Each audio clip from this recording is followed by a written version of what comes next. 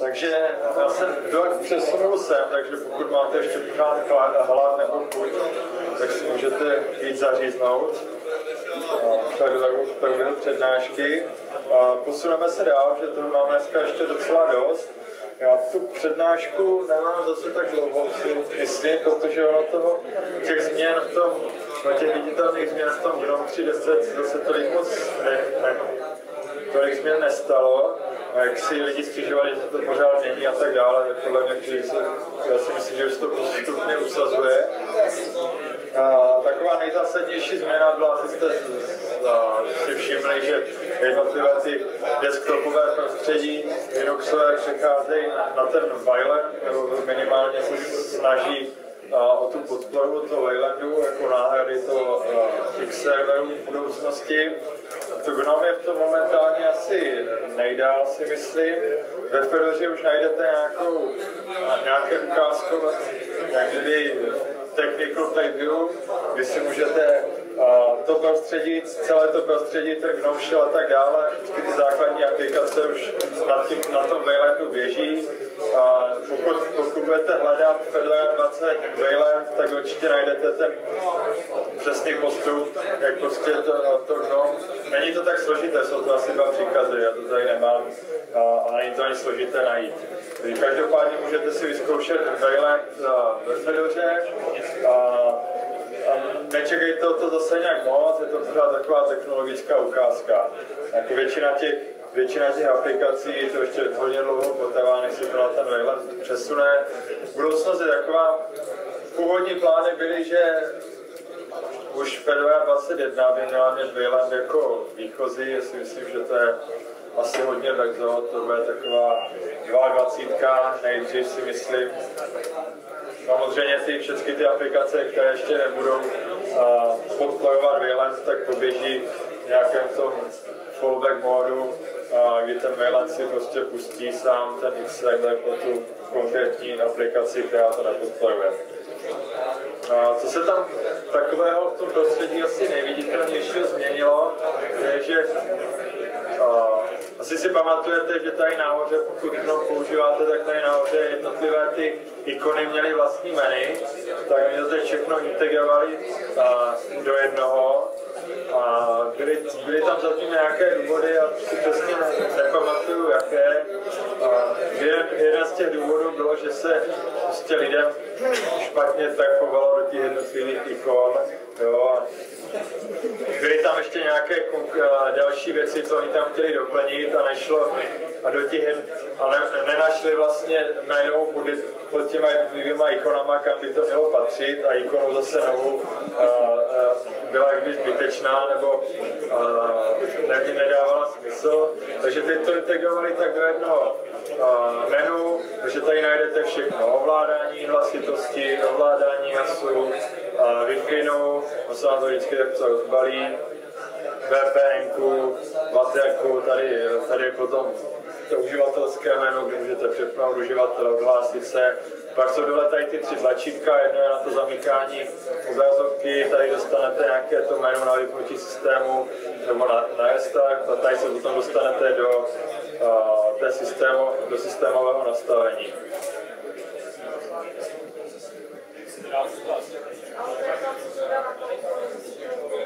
spát, musíš se zaklopit víko. Já si počkej. Jo, jo, tady ten funguje ten aut, počkej. Jo. No. Tak je to tam pořád. Jo.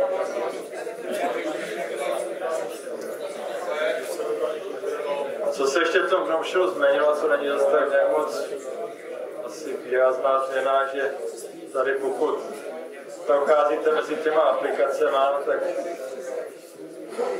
už se to neposouvá postupně, ale po stránkách, což je takový spíš asi detail.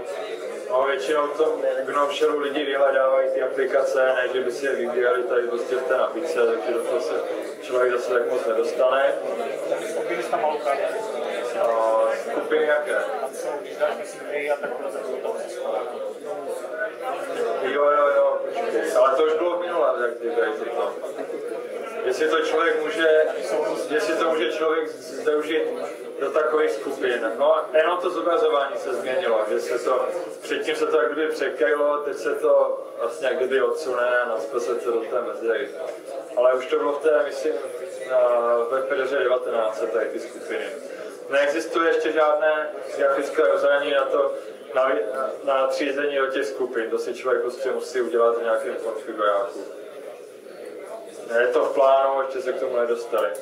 A co tam je ještě docela zajímavá změna, teď se či dál víc v notebooku objevuje s tím vysokým rozlišením. A většina těch prostředí Linuxových s tím neumí pořádně pracovat, pokud to spustíte na nějakém tom Chromebooku, který má rozlišení nějakého 2,5 tisíce, já nevím, 16 nebo něco takového, tak všechno máte PIDI, že tam sice můžete nastavit DPI, kdy se vám teda písmo zvětší, ale ono se vám zase rozbijou nějaké další věci, takže ono je potřeba, aby ten toolkit byl na to připravený, ty aplikace, a i ty ikony třeba, vlastně většina těch ikon třeba 256 a 256 a to už dneska na tak vysoké rozlišení nestačí, takže se samozřejmě další, další úloha tady při, to, při té vytváření té podpory toho vysokého rozlišení bylo, že prostě museli narovnat do těch ikon přemalovat ještě do většího rozlišení. Takže ta práce ještě není 100% hotová, ale řekl bych tak z 80% ta podpora těch vysokých rozlišení je, takže dneska třeba na tom Chromebooku už ten to můžete docela rozumně používat. A když jsme u toho nastavení, tak co se v tom nastavení změnilo, při, přibyl tam nějaký ten geolokač, geolokační framework, kde oni na základě prostě různých údajů a IP adresy, kterou získáte a tak dále, jsou schopni určit, kde se nacházíte, takže se vám automaticky nastavuje třeba a, ta zóna, časová zóna. Myslím, že v Anakondě už to mají taky, tady je někdo za Anakondy. Už to tam máte taky. Akorát nejsme tak škaredí, jak nejsme tak škaredí, jak neříkáme, jaké máte kolem sebe Jo, tak. A, takže vidím, že jsou teda propojení z Google víc, asi v tom případě. A, co se tam dá ještě nastavit, tak u toho, toho pozadí už si můžete nastavit nejen pozadí na tu vaši bloku, ale potom i na tu zamčenou obrazovku, když si vlastně a,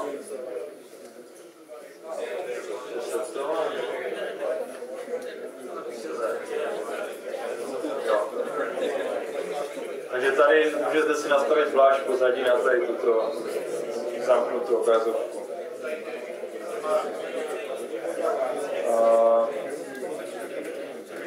Co je taková asi, myslím, pro ty běžné uživatele asi nejzásadnější změna v té 20, tak to je ten uh, GNOME software, který funguje podobně jak uh, různé ty softwarové centra uh, na těch mobilních platformách, jak je třeba Google Play nebo App Store, kde už se nenahlíží na ty jednotlivé, na ten software tradičně přes ty balíčky, že byste prostě vyhledávali mezi balíčkami a instalovali balíčky, a že na to nahlíží jako na aplikace, takže tady prostě můžete vyhledávat mezi aplikacemi, za kterými se může skrývat x prostě balíčků, no, si to prostě ten GNOME software nějakým způsobem přeloží, má na to udělaný a má na to udělané takové XML soubory, kde se doplní i ty, i ty další informace.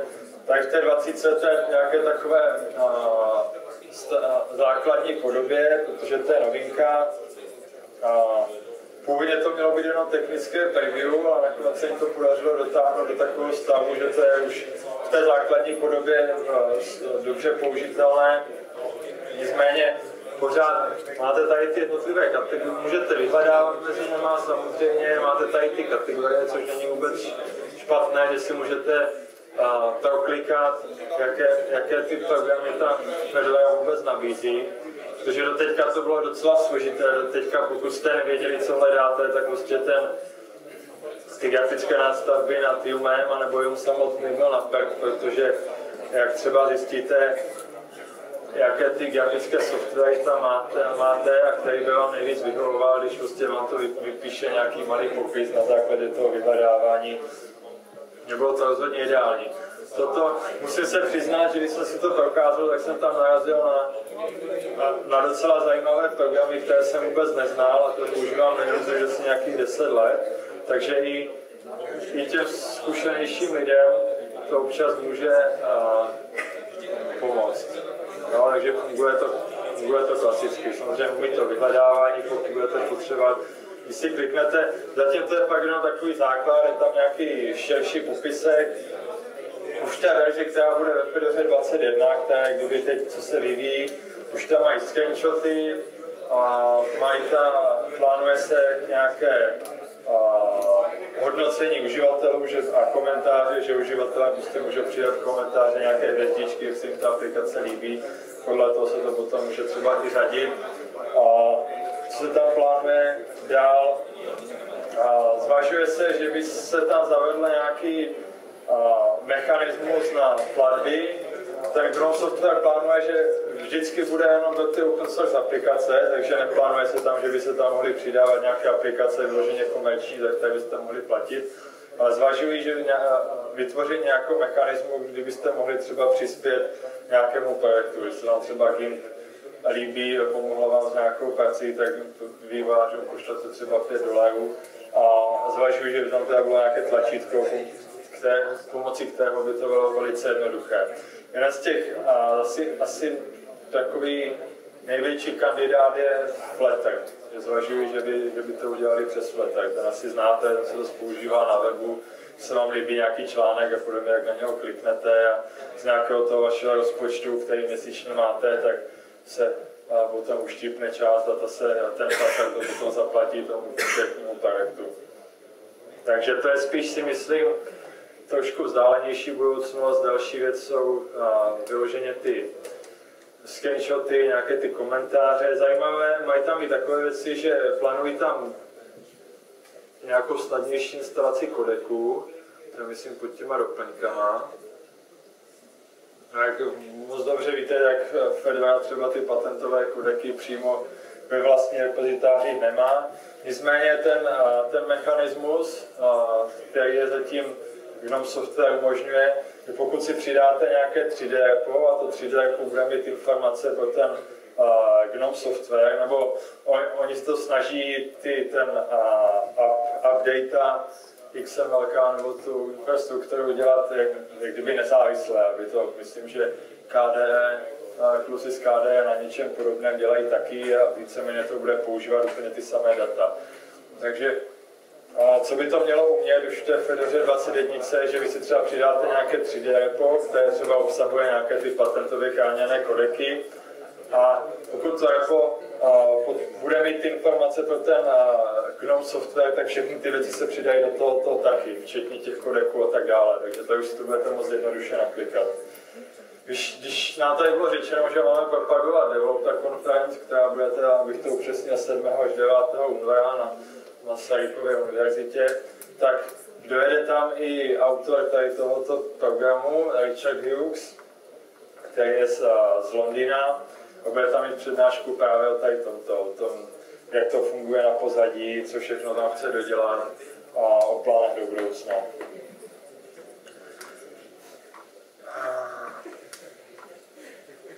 Co tam, co tady v té další verzi přibylo, tak jsou nějaké ty nové aplikace, tady můžete třeba vidět ty mapy, jo, takže když to tady z toho to nepustím, takže budu muset... Mapy to je vlastně taková klasika, je to založené na OpenStreetMap, že to je asi takový de facto jediný volný zdroj. Nemá to, je to zatím hodně jednoduché, nemá to nějaké extra výhody oproti těm webovým službám, Jediná výhoda, co jsem četl, je, že to de facto naplno využívá tu akceleraci, takže je to a, i na těch hodně pomalých počítačích, kde se třeba to překreslování mapy seká, a třeba od Google Maps a tak dále v prohlížeči, tak tady to jede mnohem plynuleji. Tak to je momentálně asi taková nejzásadnější výhoda. Jinak využívá to i ten geolokační framework, samozřejmě pokud k tomu nemáte připojenou nějakou GPS nebo něco, tak já jsem naposledy, to můžu vyzkoušet. Jo, takže tady mě to dokonce lokalizovalo někde. A docela přesně. Naposledy, když jsem to zkoušel doma, tak mě to lokalizovalo teda v Brně, ale napsalo mi to uh, uh, přesno, přesnost na 700 km čtverečních, takže podle té si to asi moc přesněji nepůjde. Vypnuté to Wi-Fi teda. Co?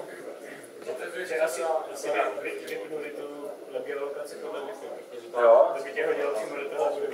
Tak, tak to, tak to tam asi taky nemají, nejsou tak zlí.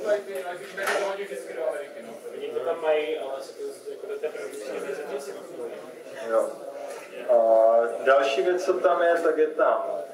Udělali hudbu, do teďka tam byl výchozí box, ten tam je teď teda taky. No to je totiž pořád, ve výchozí instalaci to najdete, ale společně s tím boxem, že to je pořád taková technologická ukázka. Tady, proč se mi nenačítá, jo, to je, jo.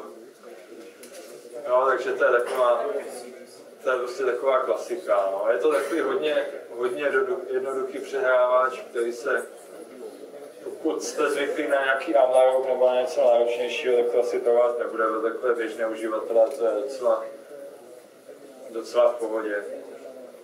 A co jsem, co jsem ještě teda nezmínil, jsem docela důležitá změna. Já ve Fedoře, a, ve, jak ve Fedoře 20, tak v Gnome 3 desíce teda novinka je, že ty aplikace využívají vykreslování těch a, okenních prvků na straně klienta. Doteďka to fungovalo tak, tam je vlastně vztah klient-server, že server je ten a, window manager, jo, v tomto případě router, klient je potom ta samotná aplikace. Teďka to fungovalo tak, že ty a, vlastně tu horní lištu, ty okraje toho okna, to si vykresloval window manager a ten zbytek, kdyby tu výplň toho okna si vykreslovala ta aplikace, ten klient samotný. Teď to víceméně před celé přenesli na tu aplikaci. Udělali to z toho důvodu, že chtěli integrovat tu hlavní lištu a do, kdyby do, přímo do té aplikace, kde to odstranili, to tlačítko na zavření máte hned přímo v té aplikaci, v té liště potom můžete mít další prvky, ušetřili tím nějaké, nějaké pixely. Oni už už těch předchozích verzích používali to odstraňování té horní lišty při těch maximalizovaných aplikacích, nicméně tím jste i ztratili třeba to zavírací tlačítko, hodně uživatelů mělo problém najít, jak vůbec tu aplikaci zavřít. Takže teď to integrovali přímo do té aplikace, máte to pořád stejné, to max- maximalizujete nebo ne. Že to je docela zásadní změna. Samozřejmě pro ty ostatní aplikace, které to nepodporují, ať třeba jsou to ještě aplikace v GTK, které na to nepřešly, anebo nějaké z těch jiných eh, prostředí jako KD, tak ty nadále budou využívat tu hlavní lištu budou mít a budou to mít vlastně vykreslované tím, a tím window managerem. Nicméně oni se aspoň snažili vizuálně ten, jak kdyby to zavírací tlačítko hodně tomu přiblížit, takže to vypadá to hodně podobně, jaká tam nahoře teda tu lištu máte. A Co tam ještě přibylo, tak fotky nejsou úplně nová aplikace, nicméně a co v nich, je to taky hrozně jedno, já jsem to tady ukazoval už minule, je to taková hodně jednoduchá aplikace na, na zpracování fotek, kdy si prostě ty fotky můžete zgrobovat do jednotlivých al, maximálně si je tagovat jako oblíbené. A snaží se to propojit s těma online službama, takže v této, v této verzi už si můžete si můžete připojit k vlastnímu Flickr accountu. Ono už je to natáhne všechny ty vaše fotky, co máte na Flickru a zobrazí je vám přímo v té aplikaci, jak kdybyste je měli lokálně. Snaží se jak kdyby o to, o to samé, co v těch ostatních aplikacích, už ne, o, o odstranění té, uh, té bariéry nebo té hranice mezi těma souborama, co máte lokálně a co máte vzdáleně, abyste s tím pracovali stejně bez ohledu na to, kde to je uložené. A co tady ještě kromě té podpory toho Flickru eh, přidali, a, tak přidali a, podporu DLNA, takže te, ty fotky dokážou fungovat jako DLNA server, takže když to zapnete, tak tak a máte v, televizi, máte v síti nějakou televizi třeba, tak si můžete jednoduše ty fotky, které máte tady v tomto programu, tak vyžet na, na televizi. Dělá na tom Aishi tady z tajnické pobočky, byl tady, už to tady nevidím. Každopádně to vzniká převážně tady v Brně, tady toto. Co pokročilé uživatelé a hodně zajímá, tak je ten a, Tweak Tool, no, ten vyladěvací nástroj, kde se přesouvají takové ty nastavení, co oni chtějí a, jak kdyby moc ukazovat těm běžným uživatelům, jak, aby je to asi nemátlo, nebo já nevím. A nicméně ten nástroj byl hodně přepracovaný, má úplně nové rozhraní, má tam nějaké další, další volby, můžete si tady třeba, toto tam, toto myslím do teďka v grafice naťukat nešlo, to, jaké aplikace chcete mít spuštěné, takže to teď můžete, a jsou tady nějaké pneumadati, já nevím, další různý. Tady to tlačítka v záhlaví okna, jestli to chcete zapnout. Jo. Ono to, vy můžete vidět, pokud už ta aplikace má vykreslování a na straně toho klienta, tak už to nefunguje. To je asi největší nevýhoda toho řešení, pro ty uživatele, kteří jsou prostě zvyklí na to, že to maximalizační a minimalizační tlačítko tam mají, tak tady tímto o něho de facto definitivně přijdou. To by se muselo de facto implementovat do, té, do každé té aplikace zvlášť. Zatímco teď to, tady toto nastavení je nějaká nastavení toho Windows Manager. Jak se jmenuje to, tu vyladěval? Chrome Tool. Ona se tady mění ty písma, je taková klasika, no, případně tady ty rozšíření zapínat, vypínat. Jo, pak tady ještě mám zmíněné uh, boxy. Tady někdo, kdo používá GNOME boxy na virtualizaci. To je takový tady. Ono to má docela, docela zaj, zajímavých vychytálek, hlavně to je teda neuvěřitelně jednoduché, že tam můžete mít ještě možná pro nás asi až moc jednoduché, že můžete mít uh, vytvořenou virtuální mašinu a mít spuštěný systém během asi tří kliknutí. Nás si vyberete, chcete vytvořit novou, uh, novou virtuální mašinu a vyberete ISO, do které, ono vám to už ty ISA všechny v tom homu najde, podle toho ozna, označení toho ISA vám to vybere ty nastavení podle toho, jaký, o jaký systém se jedná, kliknete na, na vytvořit a už se vám spouští spouští uh, systém. Co tam přidali, uh, taková, mám tady takovou poznámku, drag and drop přesouvání mezi tím hosto, hostujícím a hostovaným systémem. Takže teď, když máte v, tom, v těch boxích, boxy v tom okně spuštěný nějaký virtualizovaný systém, ať jsou to, ať je to nějaký Linux nebo Windows, tak teď už můžete uh, soubory mezi něma prostě přetahovat, uh, přetahovat jednoduše, což je docela doteď Myslím, že nějaké ty jiné nastavy už to taky podporují, jestli ten VMware Workstation nebo něco takového. Řešilo se to do teďka hodně tím, že se tam někde nastavila nějaká sdílená složka, nicméně to přetahování je takové přece jenom jednodušší. A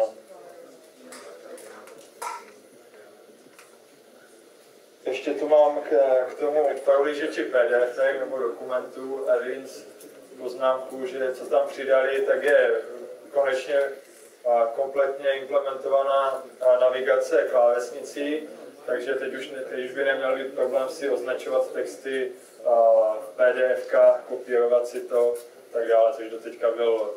Oni to tam nějakou tu podporu měli, ale člověk to skopíroval, pak to, tak jak jsem to skopírovalo, tak zase z toho vypadlo úplně něco jiného, a teď by to údajně mělo být konečně pořádně udělané což teda asi je z mojí strany všechno. Myslím, že jsem ten čas docela naplnil, takže si máte nějaké... Že jsem dokázal počasí a Ne, jo, ale počasí to už bylo taky, myslím, minule. No tak jako, jestli, já jestli ho mám vůbec nainstalovat, tak mám. Jo, takže tady můžete ještě... Jo. Jako, a to na, na, na, na, na starou polémy září, to tam, to tam se zaručeně je, no, takže je to, je to informace z těch eh, IR.no, což je ten eh, Norský meteorologický institut. Asi takové nej, nejznámější nebo nejlepší uh, otevřený zdroj uh, informací o počasí.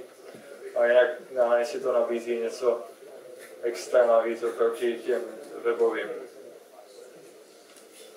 No, plně vidíte, že Praze, Praze měli nádhernou polární září a plně máme prostě nohu. No. Takže Praze je blazné.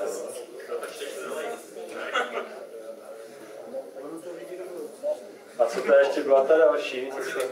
Hodiny, jo?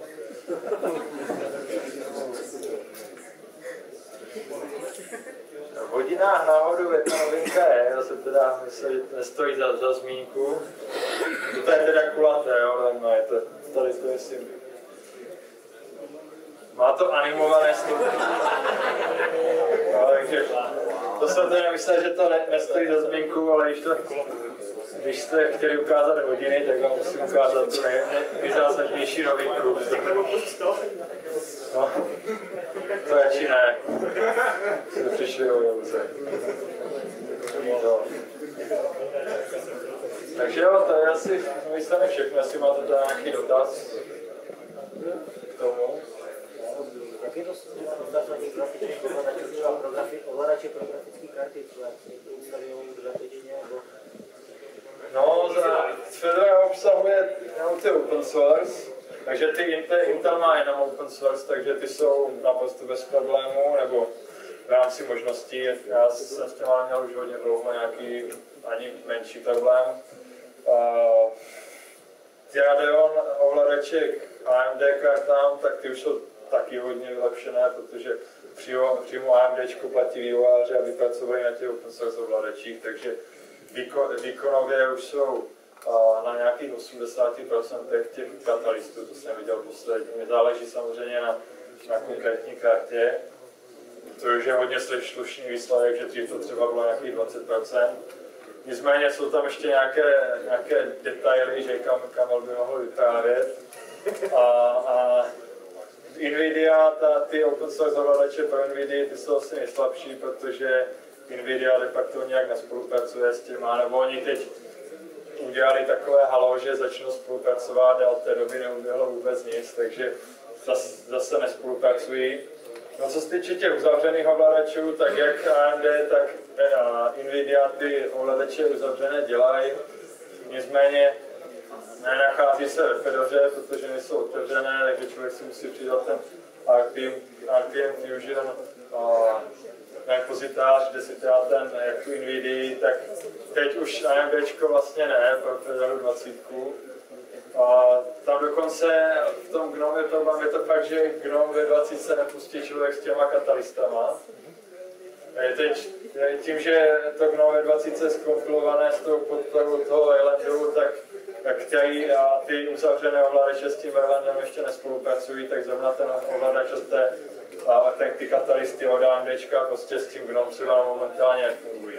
Oni, plán, oni teda slíbili, že udělají nějakou tu a, kompletně změnit tu architekturu toho ovladače. Dokonce to AMDčko, slychá se, že to AMDčko chce ty uzavřené ovladače pro Linux kompletně zahodit a chce podporovat už jenom ty otevřené, čímž by docela souhlasilo i to, že najmuli ty a, a vývojáře na to, aby na tom začali pracovat a že ty, ty ovladače se hodně zlepšily. Takže AMD zavřené ovladače momentálně ne, nicméně ty otevřené jsou si myslím už na docela slušné úrovni. A Nvidia tam teda tam to funguje a musí si člověk přidat ten, ten depozitář navíc. Jestli to tak stačí. Já chci odpovědět na tu otázku. Je aplikace Easy Life, tam to Jo, nebo... Což je asi to, na co se To je víceméně ten nejjednodušší způsob, to, to víceméně udělá to, co jsem teď řekl, že to přidáte na pozitář a nainstalujete ty ovladače, jaká to, tam to má člověk na jedno kliknutí. Je to v české příručce to je všechno zmíněné, tak to, to, takže člověk to tam najde. A ještě nějaký další dotaz teda? Dá se nějak rozumně rozjet, že se modernou třeba mobil přes modrý zub? V 19 to jelo přes Network Manager a Flat a teďka v 20 to prostě nejsem schopný rozjet. No, tak to nevím, to bys... My přišli na Blue Spec, pokud vím, a tam prostě je nějak dvě mapy a prostě nevím, jakým způsobem teďka rozjet eh, ten GSM. Se dá do souboru, ne? No, tak to popravdě vůbec nevím. To bys se buď na někoho, kdo dělá na tom Bluezu, anebo na, kdo dělá na Network Manager, což je u nás asi jenom částečně Fabrix. Ale oni to, to se, to s těma, s těma to je takové docela složité. Oni ten Network Manager docela překopávají, překopávají ten Blues taky, takže tam je to vždycky taková... Nemám s tím osobní zkušenosti, takže už jsem modem dlouho ne, ne to ne, ne, nerozcházel.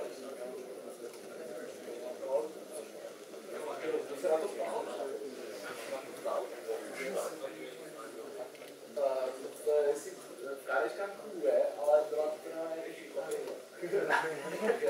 Protože 20 je jenom manager a je tam i nový grup. A že je potřeba tam prostě věci asi změnit. Nevím, jestli to tohle to nefunguje, tak Takže To skarečka, to je, to jsem teda na stolu já, přes to, přes to je, přes KPP nebo přes to máme to. to je normální přestat na tom. Přes takhle to je, jo. Takže zkusí KDčka jedině. Otázka je třeba jako ne, nezlobí třeba jenom mým modelem, nebo třeba jo, A je to čistě je to modem, Ne, nebo je to mobil? on já to mobil prostě... Tam měl přes kábel v pohodě. Pokud je to jenom Ale to přes mobil super, já to nechci brát. Vás se zkoušel na 900, kabel můžu hlásit, že to funguje, no, tak. No, tam se to, tam se to řeší jinak trošku, no. Tam se to vyvíjí jako dev, to, to i já jsem nebo nějaké jako zařízení a potom to funguje jako Jsem ani neskoušel přes přes Bluetooth, no. Ale mu prostě mi právě nedělá žádný výlet, nic prostě.